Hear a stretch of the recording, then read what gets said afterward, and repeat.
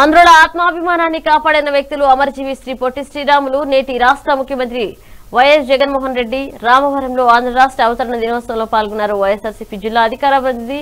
Sabbella Krishna Reddy